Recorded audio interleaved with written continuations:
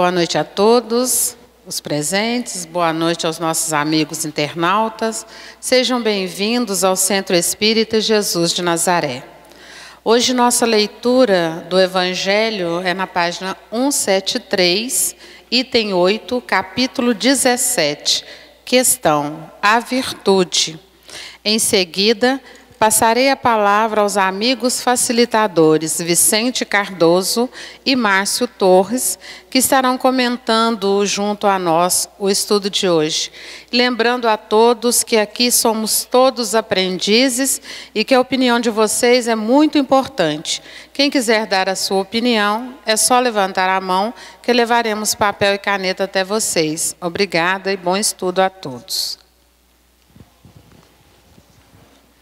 A virtude. A virtude, em seu mais alto grau, comporta o conjunto de todas as qualidades essenciais que constitui o homem de bem. Ser bom, caridoso, laborioso, moderado, modesto, são qualidades do homem virtuoso. Infelizmente, elas são, com frequência, acompanhadas de pequenas enfermidades morais que as desornam e as atenuam. Aquele que exibe a sua virtude não é virtuoso, uma vez que lhe falta a qualidade principal, a modéstia, e tem o vício mais contrário, o orgulho. A virtude verdadeiramente digna desse nome não gosta de se exibir. É adivinhada, mas se oculta na obscuridade e foge da admiração das multidões. São Vicente de Paulo era virtuoso, o digno cura d'Ars era virtuoso, e muitos outros pouco conhecidos do mundo, mas conhecidos de Deus. Todos estes homens de bem ignoravam, eles mesmos, que fossem virtuosos, se deixavam ir na corrente de suas santas inspirações e praticavam o bem com um desinteresse completo e um inteiro esquecimento de si mesmos. É a virtude assim compreendida e praticada que eu vos convido, meus filhos. É a virtude verdadeiramente cristã e verdadeiramente espírita que eu vos convido a vos consagrar. Mas afastai dos vossos corações o pensamento do orgulho, da vaidade, do amor próprio, que desornam sempre as mais belas qualidades. Não imiteis esse homem que se coloca como modelo e glorifica ele mesmo as próprias qualidades a todos os ouvidos complacentes. Essa virtude de ostentação oculta frequentemente uma multidão de pequenas torpezas e odiosas vilezas. Em princípio, o homem que exalta a si mesmo, que eleva uma estátua à sua própria virtude, aniquila, só por esse fato, todo o mérito efetivo que possa ter.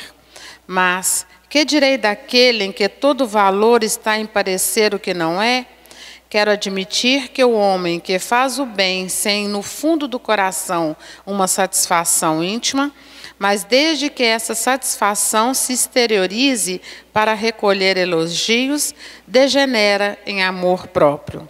Ó oh, vós todos, a quem a fé espírita reaqueceu com seus raios, e que sabeis quanto o homem está longe da perfeição, não vos entregueis a semelhante insensatez.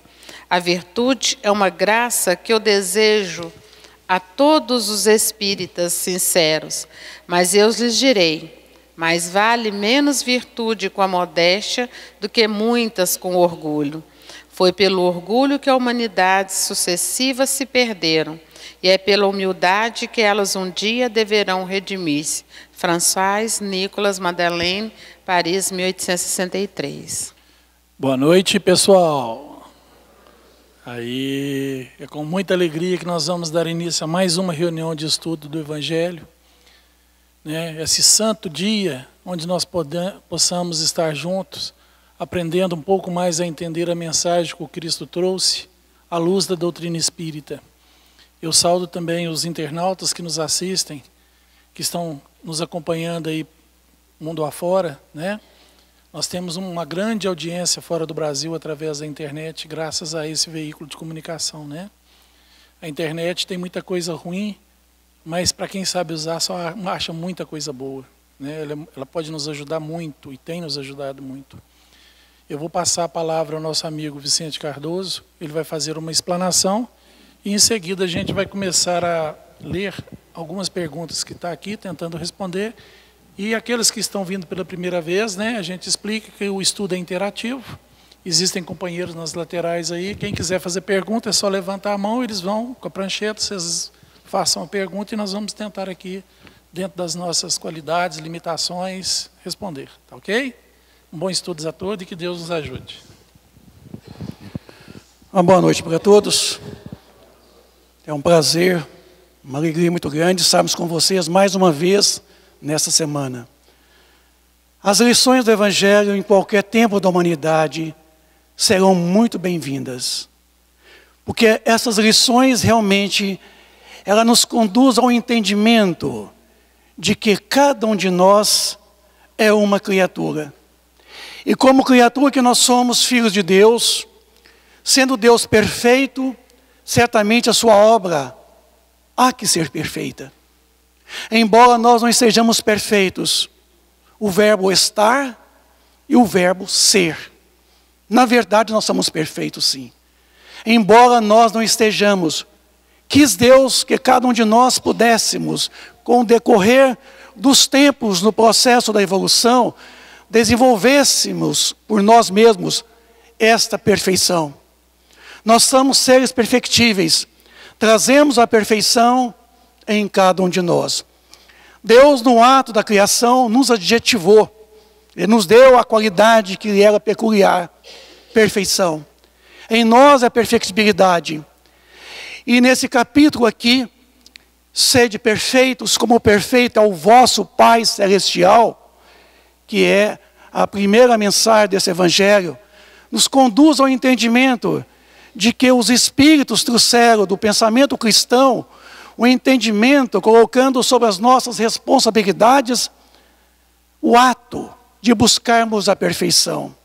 Com isso, o sede perfeitos, como perfeito é o vosso Pai Celestial, Jesus nos falou na segunda pessoa, ele nos deu o entendimento de que nós haveríamos de sermos perfeitos como nós entendemos o nosso Pai Celestial.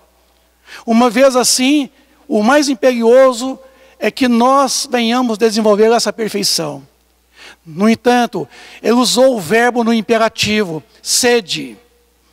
Ele nem questionou se nós gostaríamos de ser ou não, se nós iríamos ou não. Ele disse: sede perfeitos com isso, nos coloca em cada um de nós a responsabilidade de buscarmos esse desenvolvimento dessa perfectibilidade que nos levará realmente ao entendimento da perfeição, que é cada um de nós somos perfeitos no ato da criação. Com isto, aqui, desde semana passada, nós estávamos aqui, na quarta-feira passada, quando nós, eu e o Márcio, falamos sobre o dever que é obrigação moral consigo primeiro e depois para com os outros. E ficou enfatizado em nossa fala que é um dos maiores é, deveres das quais nós haveríamos de ter era a caridade. Hoje fala da virtude. Virtudes são qualidades, qualidades dessa perfectibilidade de que nós somos dotados. Embora a gente não perceba às vezes de que estando todos nós criados simples e ignorantes, mas todos nós tendenciosos ao processo evolutivo, cabendo a cada um de nós, então, desenvolvermos essas virtudes, essas qualidades das quais Deus espera que nós venhamos nós mesmos desenvolver nessa trajetória evolutiva. Estamos agora num mundo de expiação e provas, na escala dos mundos, que estará no capítulo 3 aqui do Evangelho segundo o Espiritismo, estamos no mundo, no segundo mundo, de baixo acima. Mal saímos do mundo primitivo. Então somos criaturas ainda ignorantes, tendenciosas aos vícios, às mazelas, mas trazendo em contrapartida as possibilidades das virtudes. E as virtudes não, elas não se aceitam ao mesmo instante com os vícios, as mazelas. É tanto que as virtudes são qualidades. São qualidades que faz de nós o homem de bem, que já foi falado aqui em semanas passadas. O homem de bem, que são 19 itens que inicialmente caracterizam o homem de bem. Mas já está enfatizado no 19 item que esses, nada mais do que alguns das virtudes que nós haveríamos de desenvolver ao longo da trajetória evolutiva. E a virtude, ela não coaduna com o orgulho, a soberba, a vaidade, o egoísmo. Porque a virtude é qualidades que nós vamos realmente desenvolvendo ao longo da trajetória. Exemplo de virtudes: doçura, brandura, obediência, resignação. Olha só, fé, esperança, caridade, humildade, paciência, devotamento, abnegação. São virtudes que nós ainda não conseguimos ainda desenvolver em cada um de nós.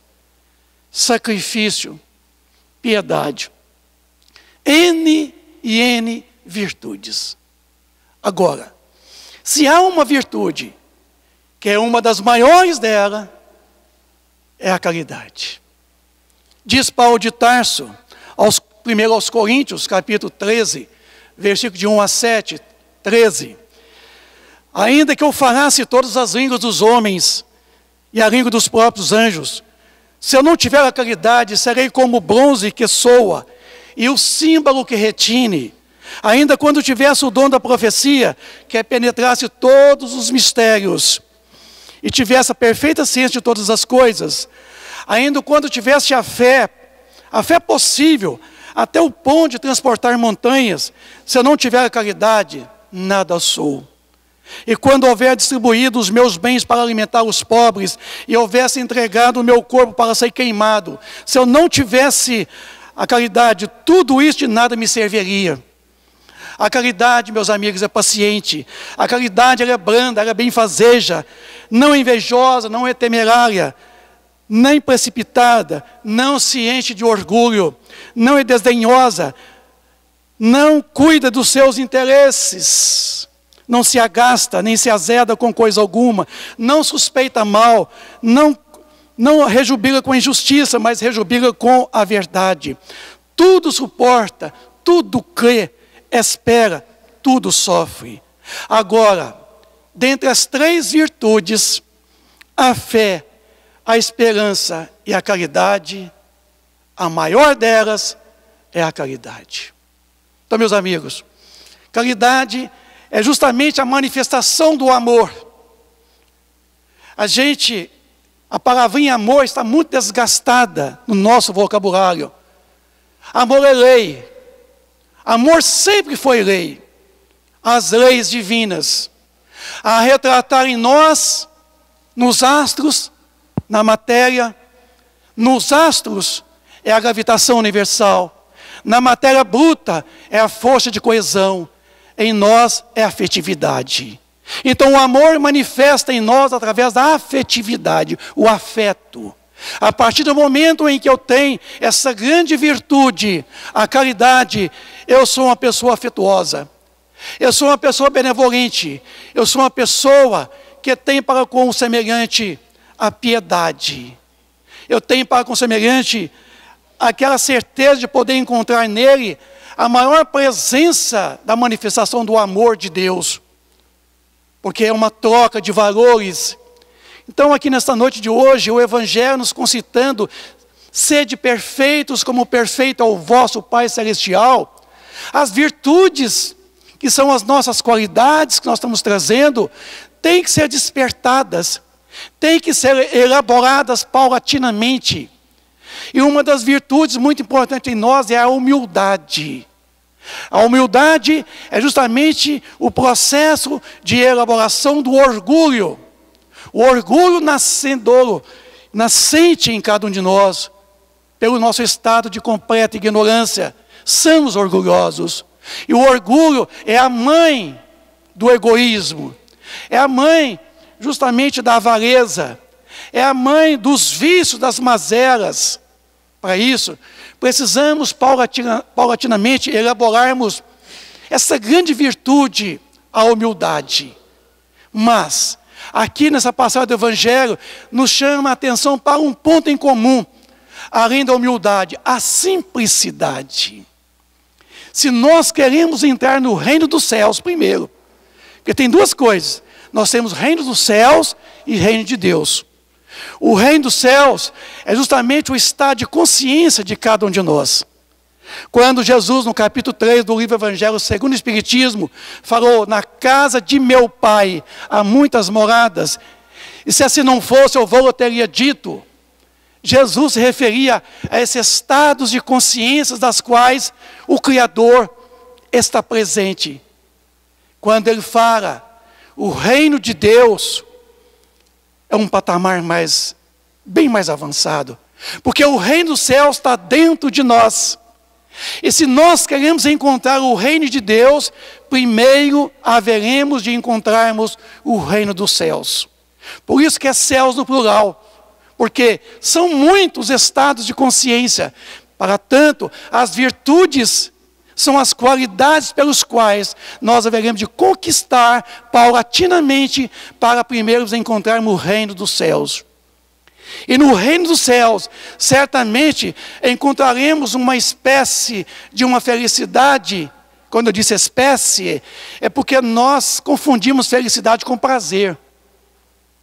Alguém vai num churrasco, vai numa festa, nossa, estou tão feliz, só porque está comendo e bebendo? Isso não é felicidade, isso é prazer. O prazer, ele é da própria espécie humana ela é puramente uma satisfação animal, material. A felicidade é desprezível de toda sensação material. A felicidade só pertence aos espíritos eleitos. A felicidade não está na terra, embora comece aqui. A felicidade está na condição mais elevada, a nossa condição mais elevada.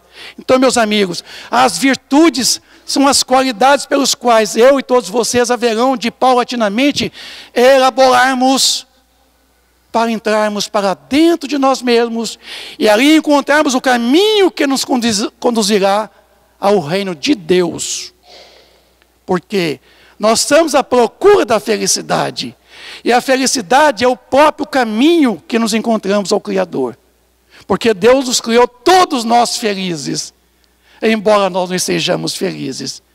Porque Ele quis que nós mesmos descobríssemos a felicidade com as próprias mãos. Porque a felicidade está em nós e não fora de nós. Com isso, a lição desta noite, ela nos considera como Paulo de Tarso comentou. Eu posso possuir o conhecimento dos homens, dos anjos, botar meu corpo para ser queimado, distribuir todos os meus bens materiais, de nada me valerá se eu não tiver a caridade. Eu posso ter a fé que remove montanhas. Eu posso ter a esperança. Mas se eu não tiver a caridade, eu nada serei.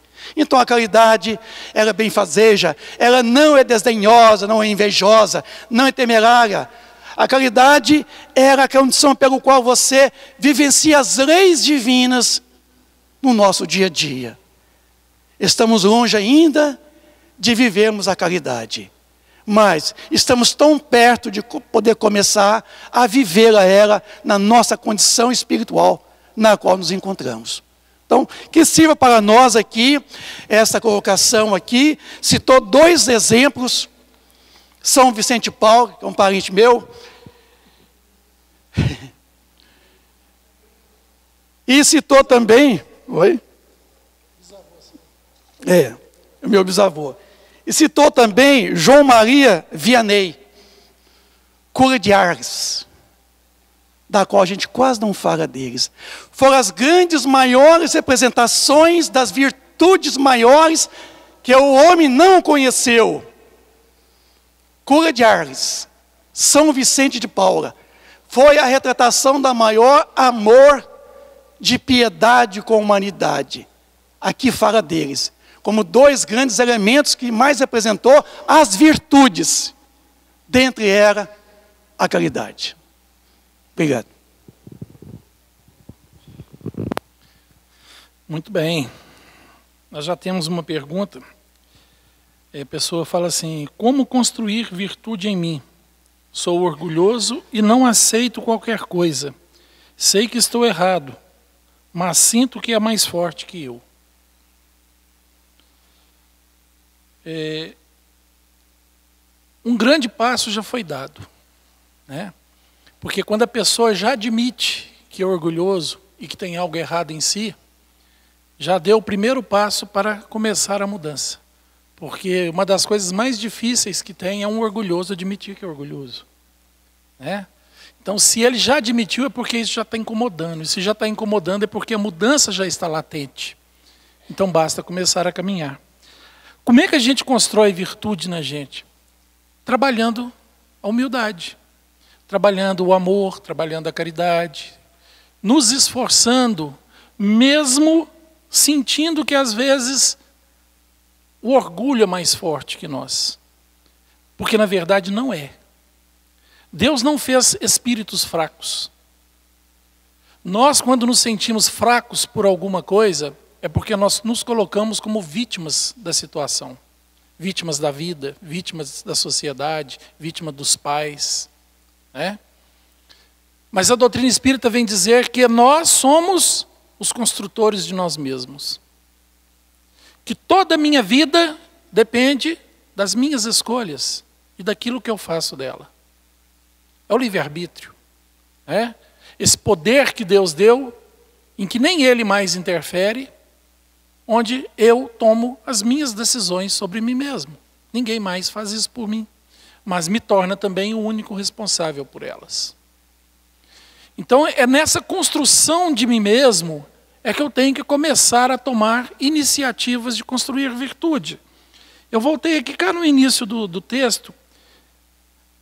Vou ler um pedacinho para vocês entenderem. A virtude, em seu mais alto grau, comporta o conjunto de todas as qualidades essenciais que constituem o homem de bem. Olha para você ver que bacana. A constituição do ser novo, a constituição de construir em mim um ser melhor, mais puro, mais manso. Primeiro, ser bom. Olha que legal. E ser bom não é ser bobo, não é ser bonzinho, é ser bom. É aprender a dizer sim e aprender a dizer não. É aprender a respeitar-me nos meus limites e respeitar também o meu semelhante nos limites dele.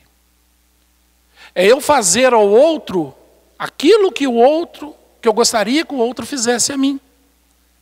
Então, se é alguma coisa que está indo contra a minha moral, contra a minha condição, contra a minha capacidade, e que aquilo não vai me deixar bem, eu simplesmente vou dizer: não posso. Eu tenho que respeitar meus limites. Eu tenho que ser bom, eu não posso ser bobo. Ser bom é ser gentil. É?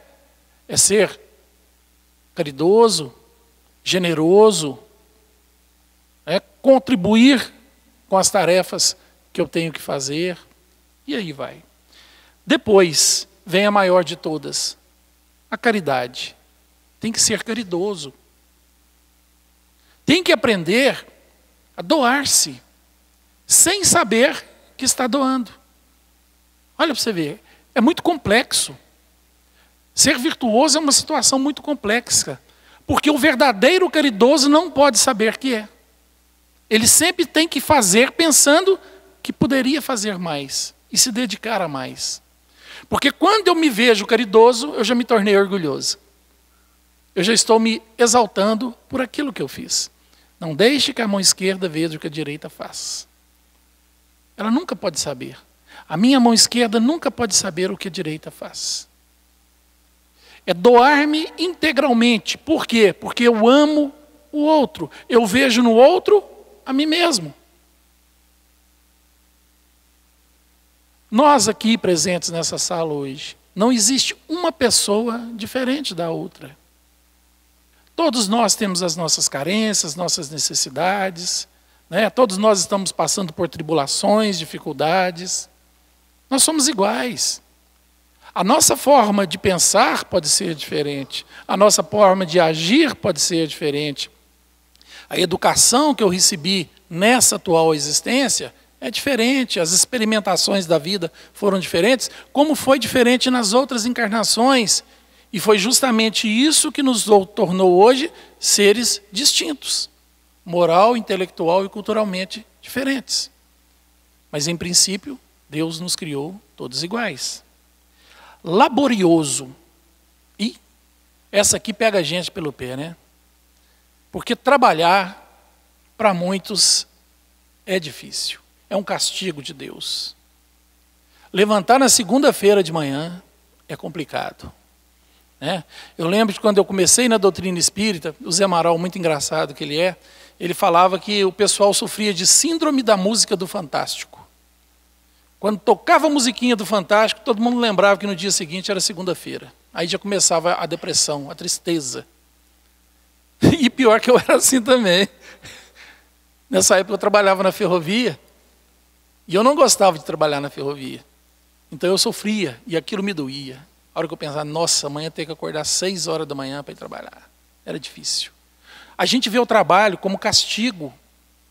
E o trabalho é o maior construtor de nós mesmos. Quem trabalha por dinheiro vai sofrer, que é uma delícia. Mas quem trabalha por amor ao trabalho, por desenvolver, por produzir, por se tornar útil, por se tornar justo com a sociedade, independente, dono de si mesmo, e faz do dinheiro uma consequência do seu trabalho, essa pessoa se torna feliz. Porque o trabalho é o maior construtor de nós mesmos. Moderado. Aí é que está também, né? Moderação, equilíbrio. Equilíbrio naquilo que eu faço, equilíbrio naquilo que eu penso, equilíbrio em mim mesmo. Esse equilíbrio, gente, é o X das nossas equações de viver. Adquirir equilíbrio em tudo que a gente faz, em tudo que a gente pensa, é o que vai me começar a me tornar um ser melhor. É o que vai proporcionar que eu consiga amar ao próximo como a mim mesmo. Porque eu só posso amar o próximo como a mim mesmo quando eu começar a me amar. E eu só me amo quando eu estou em equilíbrio porque eu não bebo mais, porque eu sei que aquilo vai me fazer mal, eu não fumo mais, eu não fico mais nervoso no trânsito, com a família, com os filhos, com a esposa. É?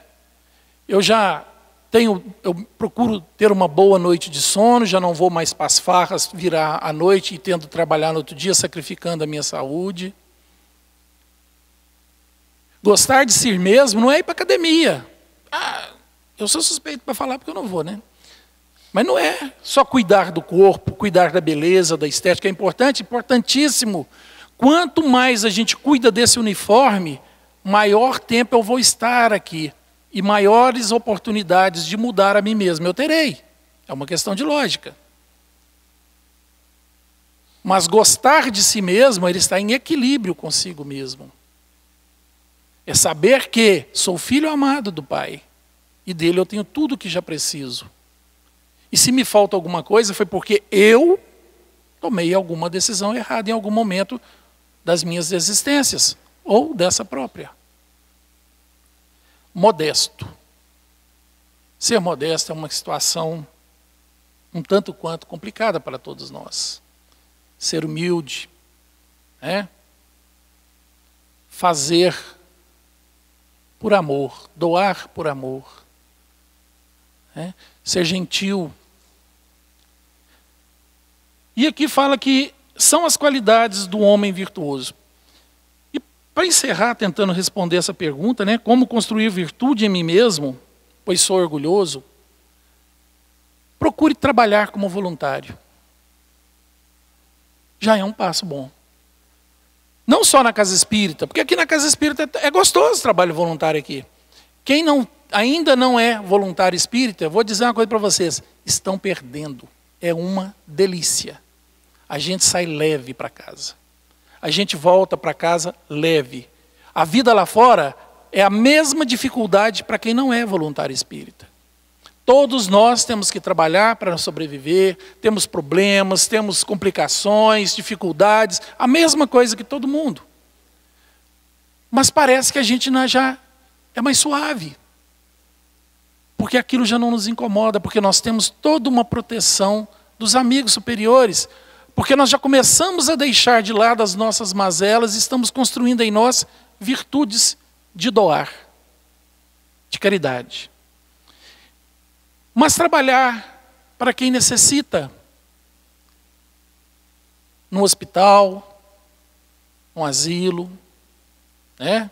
numa creche, numa penitenciária. É trabalhar com situações contrárias àquilo que eu acho que eu sou. Para poder entender que a vida ela é passageira. Esse período que nós passamos na carne, ele é apenas para que nós tenhamos oportunidades de construir em mim um homem de bem, adquirindo virtudes e conhecimentos, para ir para essas moradas que o Vicente disse. Quais são essas moradas na casa do Pai que o Cristo disse? Essas moradas foram construídas por Deus? Não, são construídas por nós, espíritos. Fomos nós que construímos essas moradas. Porque o reino de Deus ainda está muito acima delas. Agora, para que tipo de morada eu vou? Eu vou para aquela onde a minha condição intelecto-moral está ligada. Sou eu é quem faço essa escolha, agora, nesse instante, com as minhas atitudes, com os meus atos, com as minhas palavras, com aquilo que eu realmente sou e busco. Isso está determinando qual morada eu estarei. Se é uma morada de paz e felicidade ou uma morada de tormento. Como dizia Jesus, onde haverá choros e ranger de dentes. E olha que é muito choro e muito ranger de dentes. Para quem já participou de reuniões de manifestação espiritual, onde os sofredores e irmãos comparecem, os relatos são terríveis, eles sofrem demais. E nós somos sérios candidatos a voltar para lá. Por que voltar? Porque foi de lá que nós viemos. Deus é um Pai de tão amor que me tirou de lá, me devolveu um útero materno e eu estou aqui novamente para construir em mim virtudes e conhecimentos. Porque a vida física nada mais é do que uma santa oportunidade que Deus nos dá para que eu me prepare para morrer. Porque a morte é simplesmente o retorno de onde eu vim retorno para a nossa casa espiritual. É? Então, é lutar contra nós mesmos. A doutrina espírita é bem clara: reconhece-se o verdadeiro espírita pelo esforço em que ele emprega para vencer as suas más tendências. Não as más tendências do outro, é as minhas. Não é o bonitinho, não é o perfeito, não é o certinho, não. O verdadeiro espírito é aquele que luta contra si mesmo. Vai escorregar? Vai. Vai cometer erros? Vai. Lógico, nós somos humanos. Nós ainda somos cheios de mazelas, cheios de problemas. Não é fácil. Gente, vamos fazer uma lista de tudo que a gente entende como virtude, coisas boas. Uma, uma folha de papel é pequena orgulho, é, é, amor, paciência, benevolência, caridade, é, sei lá. Nós, nós, vamos escrevendo essas coisas, tudo que a gente entende, nós vamos fazer, meu Deus, quanta coisa ainda me falta. Nos falta muita coisa. Então nós todos estamos sujeitos a erros. Numa sociedade turbulenta como é a nossa hoje, né, a gente vai, vai no trânsito, as pessoas parecem que, que, acham que a rua foi feita só para elas, que o trânsito é só deles, o direito deles tem sempre que sobre, sobressair ao direito dos outros. Numa fila de banco, onde é que a gente está? Sempre todo, tem alguém querendo se mostrar, aparecer, eu, eu, eu primeiro, é minha vez. Então viver com isso tudo é complicado. No trabalho, as pessoas que nos aborrecem, as dificuldades financeiras, essas notícias de televisão aí da situação atual que nós estamos passando por merecimento nosso, né? Porque é merecimento nosso. Isso tudo pesa. E às vezes a gente escorrega. Mas eu não sou fraco. Eu apenas estou me colocando de vítima. E na hora que eu tirar essa condição de vítima de mim e falar, então é eu que decido, é, então eu vou decidir por uma coisa melhor. Eu vou decidir por fazer o que é correto. E a minha vida tende a melhorar. E melhora. Não que os problemas vão embora. Melhora aqui, ó. Consciência, tranquilidade, paz interior. E eu vou me tornando resignado. E a minha vida tende a ser mais mansa e pacífica. Tem uma pergunta. São Vicente de Paula era virtuoso. O digno cura de Arles. Como entender o cura de Arles? Sacerdote da cidade de Arles. Curador de almas. Amigos, é uma história muito longa falarmos dele. Porque, de certa forma, a gente passa a perceber que João Maria Vianney é esse cura de Arles, da qual é mencionado aqui no capítulo 8 do Evangelho, segundo o Espiritismo, quando ele fala bem-aventurados aqueles que têm os olhos fechados. É um espírito pelo qual haveria de ser para nós um exemplo de vida, de virtudes, porque era um homem virtuoso. Esse João aqui, de certa forma, ele teve uma infância como todos nós tivemos. Uma infância repleta de muita alegria, mas também de muito sacrifício, porque ele vivia numa aldeia ao norte de Lyon, lá na França, e a vida era muito difícil. E ele, desde quatro anos de idade, ele tinha uma intenção de ser um sacerdote, ser um padre. Mas como ele não tinha é, condições ainda, e já jovem, ele teve a pretensão de é, entrar para um colégio de formação de padres, mas ele não tinha escola, porque onde ele vivia não havia escolas. Então ele não tinha um, um nível cultural que era exigido inicialmente do neófito. Mas com isto, ele insistiu a ideia de que ele um dia seria um sacerdote.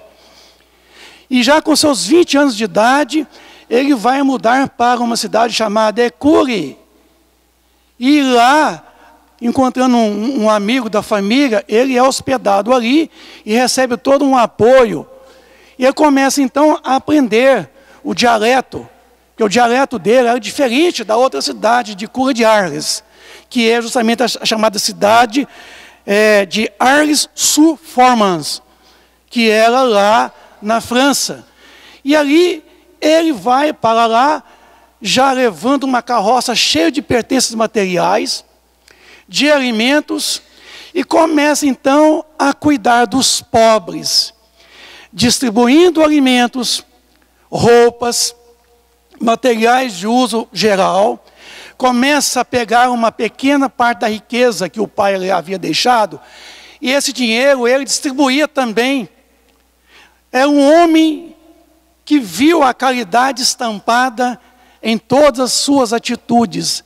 Sacerdote depois, formou-se e passou a ser um dos mais cleros daquela formação, daquele momento, daquele tempo religioso do qual era dirigente naquele tempo religioso.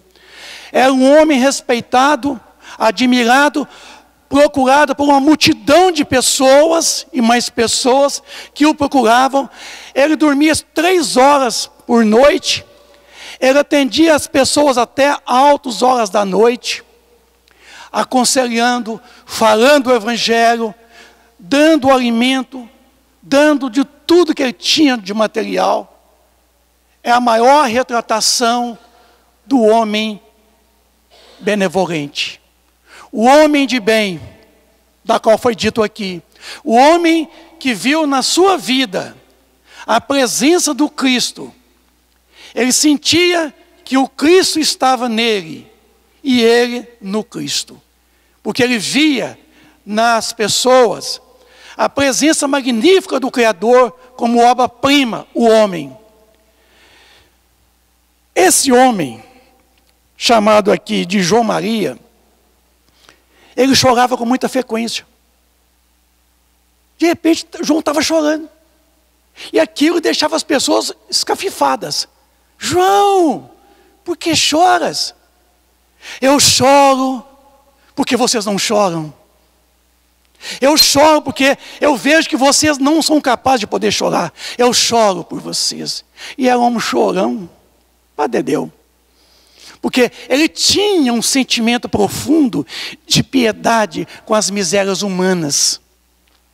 Ele era um homem condoído pelos homens. Porque ele tinha dentro dele um sentimento de benevolência, retratado nas suas atitudes. Um homem que era procurado por multidões de pessoas à procura da própria cura. Da cura. Razão pelo qual levou realmente a ser conhecido como a cura de Ars.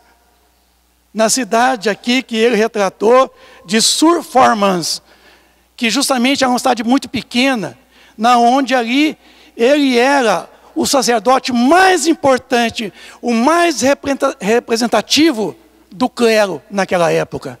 É tanto que depois ele foi canonizado, beatificado e canonizado, por ser uma das criaturas que mais representou para os católicos daquela época e para a posteridade o amor à humanidade. Tanto que são Vicente de Paula, da mesma forma, era um homem que despojava todos os seus bens materiais. Ele dava, não era do supérfluo, não. Não era o que estava sobrando, não. Ele tirava do uso. Meus amigos, dá o que está sobrando. Tem valor? Tem, pelo valor de dar. Mas o valor maior é o óbolo da viúva, retratado na passagem do Evangelho é, é aquele valor que você tira do uso. O uso. Ah, mas não tem como tirar do uso. Isso. É tirar do uso, o valor é maior. Porque tem duas coisas: dar e dar-se. Doar e doar-se. É diferente. Eu posso chegar aqui no Sérgio Bebiano, sou Sérgio Bebiano, está faltando o quê para a campanha do que final do mês aí? Ah, Vicente, está faltando um saco de arroz, um saco de açúcar, toma aqui o chequinho. Tá o chequinho. Pega lá. Vale, vale. Traz aqui um montão de roupa que não serve em casa mais, porque está entulhando o guarda-roupa, de tanta roupa, sapato. Vale, vale. Isso. Agora, o que mais vale é doar-se. Quando ele falou ainda há pouco daquele voluntário isso é dar-se. Dispor do teu tempo, da tua paciência, da tua tolerância, da sua abnegação. Abnegação é você negar a si mesmo em função do outro. Fazer o bem ao outro. Sabe aquele tempinho seu, supérfluo? É você então utilizar ele na benevolência, na beneficência. Lá no Evangelho segundo o Espiritismo, quando fala dos trabalhadores da última hora, tem uma recomendação de São Luís que fala assim: espíritas, não temais, as línguas de fogo estão sobre as vossas cabeças. É chegada a hora em que deveis sacrificar as vossas horas de sono, de repouso, as vossas horas de trabalho, as vossas horas de recreação em função da propagação da verdade. Amigos, quando é que nós subtraímos algum momento da nossa vida para vir ou para ir onde quer que seja, praticar a caridade material, ainda que seja material? Porque a, maior caridade é aquela moral. E caridade é uma palavrinha formada de dois vocábulos caro, idade. Idade é um sufixo, que para nós quer dizer qualidade. Como? Caridade é qualidade daquilo que para nós é muito caro, é muito precioso. Caridade é qualidade que você atinge quando tudo torna precioso para você, quando todas as pessoas torna-se precioso para você. Então, é algo muito caro, é algo muito precioso, que você tem, e que você valora, e que você dedica, e que você pratica, com coisas e pessoas. Então, amigos, o exemplo de cura de Arles, esse aqui, o João Maria de Vianney, São Vicente de Paula, são a retratação das maiores virtudes que o mundo não conhece, sem falar de tantos outros, né? Francisco de Assis, sem falar de tantos e tantos outros do nosso tempo, contemporâneos nossos. Obrigado. Em uma única encarnação, uma pessoa pode se tornar virtuosa? Fácil, não é não. Mas pode. O Vicente acabou de falar de São Vicente de Paula. É, Vicente de Paula, ele nasceu numa fazenda, família pobre, e cresceu ali ajudando o pai a cuidar do, do gado, da, da, dos animais. E a família notou que ele tinha um intelecto muito elevado, era uma pessoa muito inteligente. Ele era muito inteligente. E quando ele já estava ali perto dos 15 anos, a mãe falou com o pai assim: Nós precisamos tirar esse menino daqui, dar uma oportunidade para que ele possa se desenvolver. E foi levado para uma cidade maior e optaram em interná-lo é, numa escola de padres. Porque naquela época o sacerdócio era o top de linha, né? Era tudo de bom, quem estava na, na igreja. E o primeiro professor dele foi até um advogado, que começou a passar as instruções para ele. Nessa, Quando Paulo já começou a se destacar no sacerdócio ali, já aprendendo, numa visita que o pai foi fazer a ele, ele se envergonhou do pai. Gente, ele era orgulhoso. Vicente de Paulo, não esse, o outro, parente seu, ele era orgulhoso. Ele ficou com vergonha dos trajes do pai, e porque o pai também tinha um problema na perna, ele era um pouco coxo. Ele se envergonhou da presença do pai e, desfez dele. E o objetivo de Vicente era atingir o Vaticano, chegar ao Vaticano. E ele começou a dedicar a sua vida a isso, ao destaque. E conseguiu. Ele conseguiu não chegar no Vaticano, mas ter destaque. Por onde ele passava, ele se destacava. Chegou a ser conselheiro de conde, de condensas, a cuidar dos filhos dos nobres, passar educação para essas crianças. Só que em um determinado momento da sua vida, ele descobriu que não era feliz. Ele não se sentia bem, faltava alguma coisa, tinha um vazio muito grande dentro dele. E ele descobriu uma igrejinha já meio capenga, caindo, e resolveu ir lá ajudar o pessoal dessa aldeia. E reformou a igreja e começou a trabalhar ali. Numa certa ocasião que ele estava lá, uma pessoa chegou para ele e falou assim: Padre Vicente, tem uma família inteira doente passando fome e necessidade. Podemos fazer alguma coisa? Ele foi celebrar a missa e pediu ao pessoal: olha, nós precisamos ajudar uma família, tal, temos que arrecadar. E nesse dia se arrecadou muita coisa para a família: roupas, remédios, alimentos, e foram lá e levaram para eles. Aí Vicente pensou assim: e amanhã? Como é que eu vou fazer com esse povo? E resolveu chamar as pessoas de bem daquela comunidade para que pudessem começar a trabalhar essa família. E dessa família veio outra família, que veio outra família, outra família. E o grupo de auxiliares do São Vicente começou a se formar. E ele descobriu que estava feliz. Numa igreja pequena, com poucos recursos, não tinha mais o glamour dos lugares onde ele andou, mas ele era feliz, porque ele descobriu que servindo aos outros fazia bem a ele. E ele se tornou essa criatura que o Vicente acabou de narrar. Hoje, nós temos aí espalhados por todos os lugares, né? Os vicentinos, as associações de São Vicente de Paula, que são organizações maravilhosas que ajudam muita gente, que fazem um trabalho muito bonito. Tudo dando sequência àquilo que Vicente de Paula colocou lá os anos de 1500 e alguma coisa. Se eu não me engano, ele morreu em 1560. Não é isso? É, ele nasceu em 508 e morreu em 560, se eu não me engano. Ele fez. Foi essa semente que ele plantou. Eu posso me tornar virtuoso em uma vida? Posso. Agostinho. Agostinho era um danado da vida, aquele homem. Agostinho fez muita coisa errada no início da sua vida, da sua adolescência. Mas depois, ele começou a refletir. Toda noite, ele fazia uma reflexão do que ele fez no dia em prol de alguém, em prol do outro.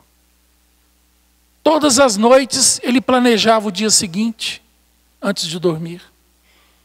Ele fazia reflexão do que ele fez naquele dia e já planejava a caridade do dia seguinte. Ele refletia nos seus atos, nas suas palavras, nas, nos, nos seus pensamentos.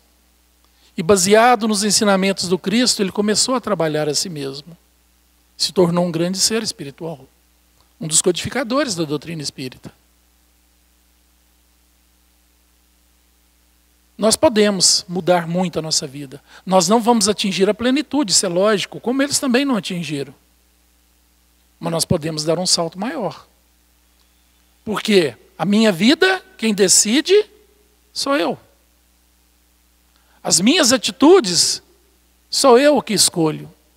A vida que eu tenho, que eu quero ter, sou eu que escolho.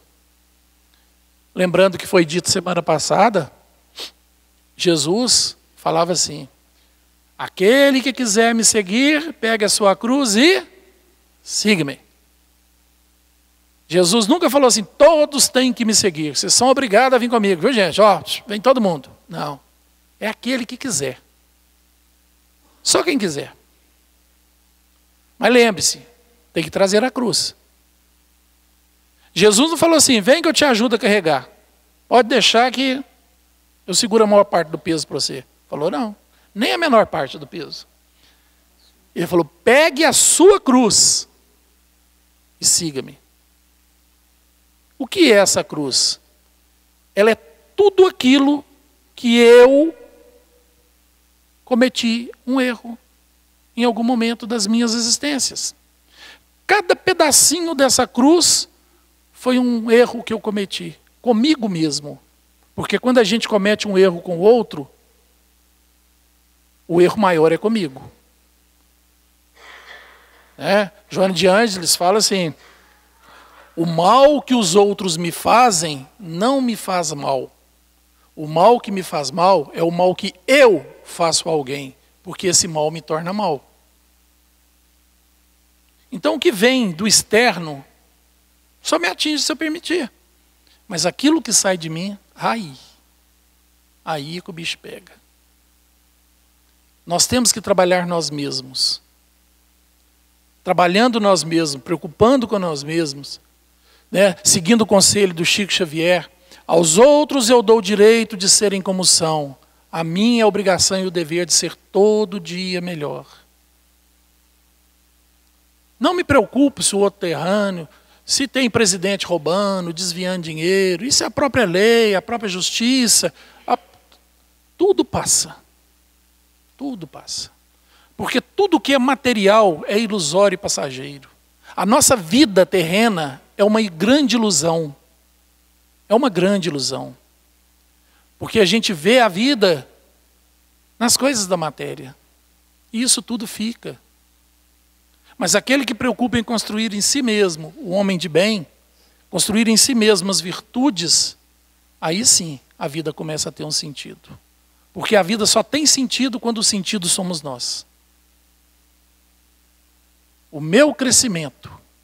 E para isso, eu carrego a minha cruz. Essa cruz são os meus defeitos, são as minhas mazelas, é tudo aquilo que eu preciso ainda corrigir e aprender para me tornar um ser de bem. E só eu faço isso. Jesus não vai segurar um pedacinho dessa cruz por mim. Deus não vai tirar uma grama dessa cruz de mim. Mas eles estarão me dando tudo o que eu preciso para que eu faça isso sozinho. Seguir Jesus é entender o seu ensinamento e vivenciá-lo, colocá-lo em prática. Fazer essa mudança interna que eu tenho que fazer em mim mesmo, para que eu possa ser feliz. Construir felicidade em mim, porque essa felicidade ela é uma situação interior. Nada externo me dá felicidade, me dá, me dá momentos alegres, momentos de júbilo, passageiro. A verdadeira felicidade ela é concretizada internamente, consciência em paz, tranquilo. Gastei o tempo tudo isso, não deixei nada para você. Bom, gente, eu agradeço a vocês. Que Deus nos abençoe. Eu espero que a gente tenha contribuído com alguma coisa. E que Deus nos ajude e nos permita continuar. Obrigado.